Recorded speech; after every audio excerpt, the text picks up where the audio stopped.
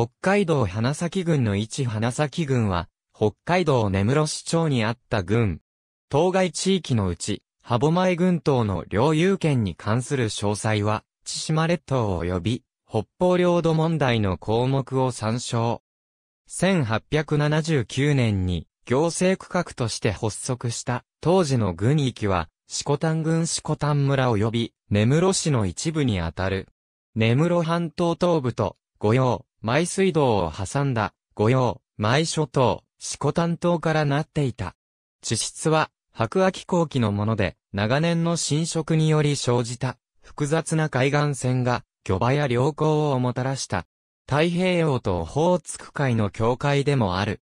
軍内の最高峰は四股丹島の北端にあるシャコタン山だったが、離脱後は山らしい山はなく、標高60メートル程度の大地が連なっている。戦国時代から江戸時代にかけて、蝦夷の人々によって、茶師軍が築かれている。江戸時代の花咲軍域は、正木藩によって開かれた、根室場所に含まれた。江戸時代後期、花咲軍域は、東蝦夷地に属していた。南下政策を強力に進めるロシアの脅威に備え1799年、花咲軍域は天領とされた。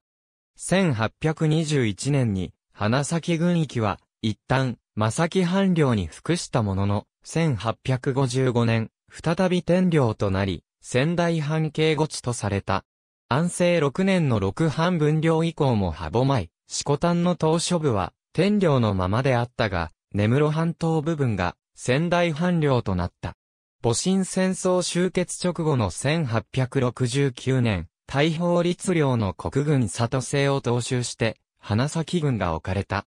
北海道花咲軍の町村突起なき場合、根室、千島歴史人名辞典による。ありがとうございます。